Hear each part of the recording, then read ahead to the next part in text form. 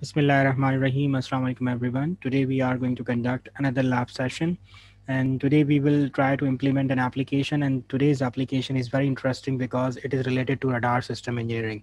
So radar system, uh, we will be implementing this radar system with the help of our microcontroller PIC18F452. So let's read this statement what we are going to do. Radar system uses a listening listener, uh, sensor and then listens for a high value from the sensor. So basically, uh, it's a sensor which senses for certain power uh, values, right? Uh, this is the normal principle of radar. It senses, and then whenever it detects something, it sends some pulses towards that direction. And whenever that direction is, uh, uh, if that if there is any target present in that direction, that pulse will strike to that uh, that specific target, and it will come back to the radar, and radar will sense it back. And if if it is senses back to this thing. So basically that means radar has detected some target. So we are not going to implement full radar but we will be actually implementing the very first part. That means if it receives a value from a sensor which is of course a listening sensor which will be sensing the minimum power and then it will send a pulse towards that direction uh, and that pulse duration is given about 300 milliseconds. So let me read it again once it detects a high value from sensor, that means it has detected certain value from the sensor. So it will generate a pulse with duration of 300 millisecond.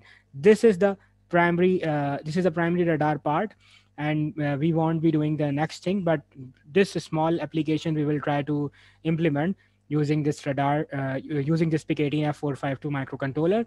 And uh, one, one thing more, we have to use crystal oscillator of 24 megahertz. So let's say this sensor is attached to RB0 pin. So this is this is going to be our input pin.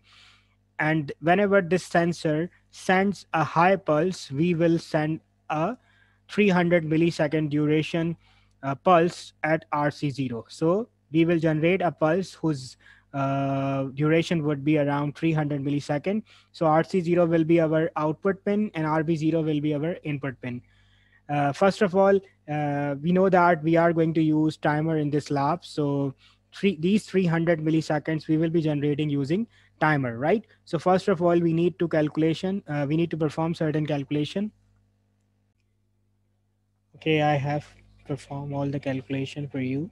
So crystal oscillator is 24 megahertz. That means frequency of instruction would be one fourth of it. So 24 megahertz divided by four would become 64 megahertz. So six mega, sorry, six megahertz. So six megahertz is our instruction frequency. Then we will be evaluating the time of one instruction. So time of instruction is uh, basically one over frequency of instruction. So one over six megahertz is equal to 166.67 nanosecond. This is the time of one instruction or time of one uh, count, right? So we will have to evaluate the timer count for the given delay that we have to evaluate 300 millisecond, right? So 300 millisecond uh, divided by 166.67 as the formula is required delay divided by time of one instruction. So 300 millisecond divided by 166 point nanosecond and it will produce 1.79 million this is the count and you know that this is not the valid count for timer zero because the maximum count could be or can be uh, around 65,535 so this is not a valid count. That means we cannot produce uh, this amount of count. Uh, so what we have to do we will use the prescaler. As for prescaler, the formula will become required delay divided by time of instruction into prescaler. So 300 millisecond divided by 166.67 nanosecond. And let's say we use 32 as a prescale. So we will be using 32 factor as a prescale. And once we perform this evaluation, it becomes 56249. And it is a valid uh, count because it is less than the maximum count which is 65,535 so th this means we have to use 32 uh, scalar or 32 value for the pre-scaler and then we can produce this amount of delay.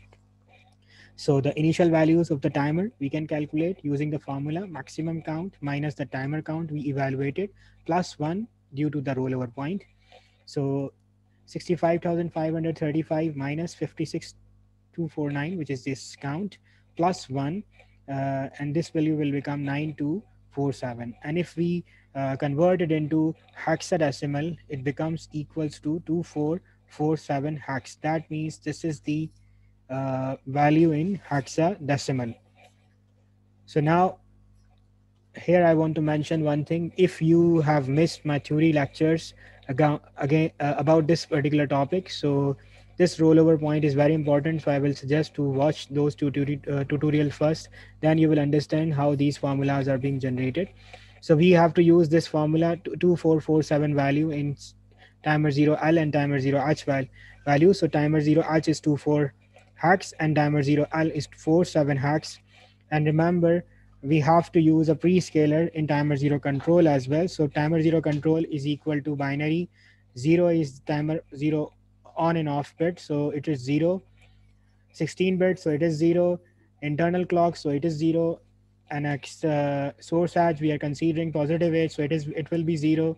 And we are not disabling prescaler, rather we have to use it, so it becomes zero uh, to enable it. And remember for Prescaler, we have eight different options available, 2, 4, 8, 16, 32, 64, uh, 128, 256. So we will be using 32 and 32's uh, combination is 100. So this is due to this 32, right? So this 32 is actually producing this value.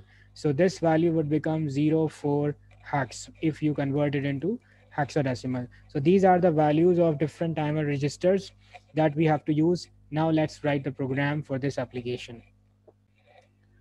Okay, I have written the code for you. So first of all, the first line is cf 3c comma rc0. That means we are declaring this pin as output pin.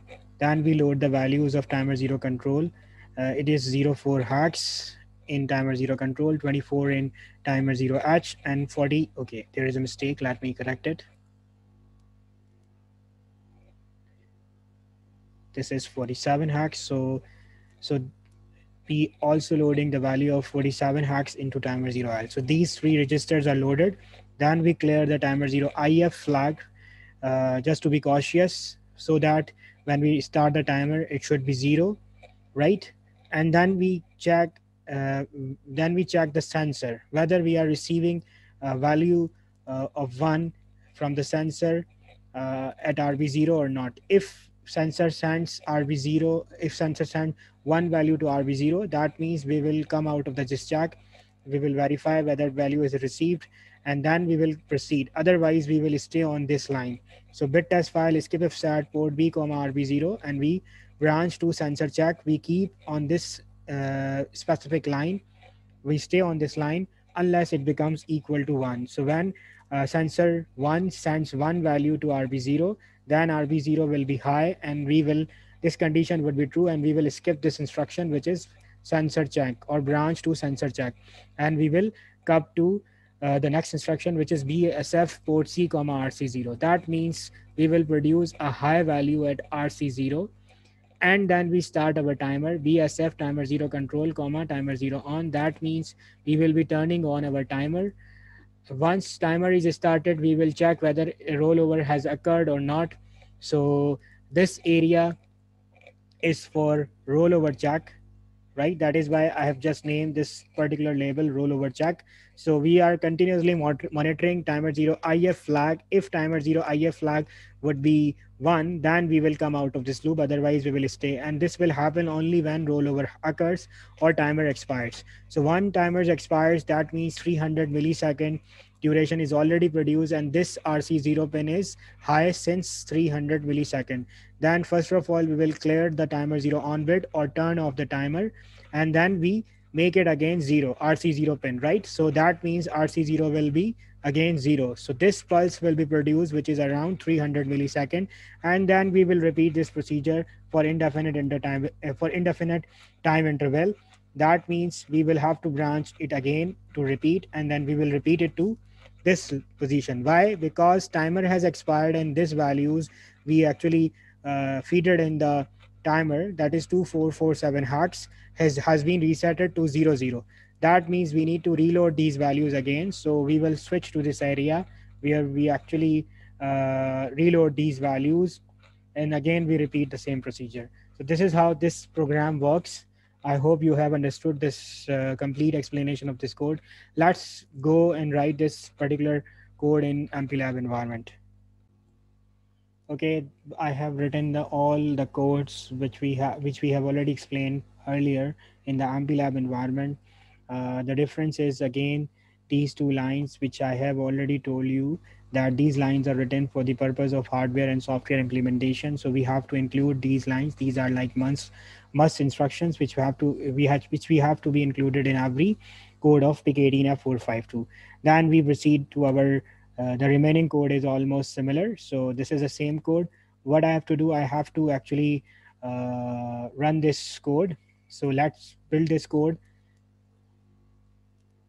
And this is succeeded. That means the code is ready. And now we will switch to our uh, switch to a proteus environment where we'll implement this code in hardware. Okay i have built this complete setup for you uh, in proteus environment uh, one thing which is noticeable here that i have used uh, push button again for sensor purpose here you can see uh, this is our sensor simulation and uh, a push button to simulate the effect of sensor. And this is connected to this RB0 pin. This is our RB0 pin, which is the our input pin. This is the RC0 pin. I hope you remember. Uh, one, one can observe here as well. This is RC0 and this is connected to oscilloscope and I'm using channel B of oscilloscope, right? So we will be observing this effect on oscilloscope. First of all, we have to actually load the values inside this Proteus. So how you will load it, you have to right click on it and then click on added properties. And here we will be defining the hex file. And remember, this is very, again, very important step because you have to, uh, so far we have been using four megahertz only, which is a default crystal oscillator. But right now in this application, we will switch it to 24 megahertz. Remember, it was given in the in the question. So 24 megahertz we will using in, we will provide this path right? 24 radar hex is basically this uh, hex file and i will burn it into the uh, microcontroller by pressing ok. Now it is uploaded. Now what can it what, what can i do? I have to run this code right? So to run this code i have to turn on this button play button and when i'm gonna do it uh, this oscilloscope is open now.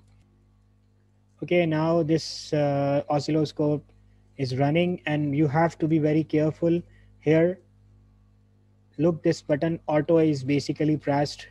I'm just pressing it again or I'm just releasing it so that you can see. So this auto should be on. And once I'm going to press this uh, push button, it will simulate the effect of the sensor. So as I'm going to press it, it will produce a pulse on oscilloscope as it is indicated by the uh, uh, problem statement. But once you will press it, it will uh, appear and it will go because this is continuous capture of this pin. So what I have to do, I have to first turn it on auto and then for a few seconds, I will just click on it and it will, I will release it again and then a pulse will appear and I will uh, very quickly I will just disable this auto button so that I can act actually capture the few seconds or few duration for which it was turned on, right? So let me do it again. And why I'm using push button? Why not I'm using a simple switch? Because if I will press here, uh, uh if I will use here a switch, what is going to happen? Uh, this uh, will be turning, this will be turned on for very long duration because we cannot uh, actually capture it for uh, for very long time. So switch will be on for very long time or signal will be sensor will be sending high value for very long time and 300 millisecond pulse will be producing again and again and we won't be able to visualize this effect so that is why i'm using a push button whenever sensor sends a high value to rb0 we will just press it and release it so it will happen in few microseconds and it will be uh, simulating the effect of sensor. So that is why we are using push button. So I'm to use this, I'm to press this button and release it. And for, and quickly I will just disable this auto so that I can capture the few seconds of RC0 pin, right? Uh, okay, so I'm to turn it. And so if you scroll out this window, this is a captured area of oscilloscope, right? So you can see that it was zero earlier and it becomes high for certain duration and again zero for complete duration. So this is the pulse. And now we have to verify whether it is 300 millisecond wrong or not. So you have to be very careful here uh, in understanding of it. You need to see the time per division, which is right now, uh, I have set equal to. So this is basically time per division. I hope you can see it 50 millisecond. So 50 millisecond, that means one horizontal division is around 50 milliseconds. So let's count these values. These are basically how much uh, I can switch its position. If you remember, look, I can switch. So I will just set this pulse accordingly using this position button. And now you need to count the divisions. So these are basically how much? One, two, three, four, five, and six. So six division, six horizontal division. That means six multiplied by 50 millisecond. So it is equal to 300 millisecond. So this pulse is around 300 millisecond, which is we were expecting. Okay. Uh, so let me put it again on auto. Now this pulse is gone. Why? Because this is continuous observation of this zero. And now I cannot come to the point where this pulse was happening. If I want to capture it again, I have to press it again and release it and uh, stop this button. So now you can see this pulse is again captured for a short duration. I hope you have understand the concept of uh, this application. Here we use timers, right?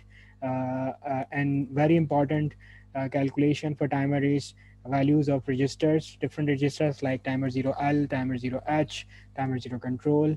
And if you closely observing this video tutorial, I hope you can now generate different timer delays. And uh, if you have any still confusion, you can post your uh, confusions and comments in comment section. Thank you so much for listening.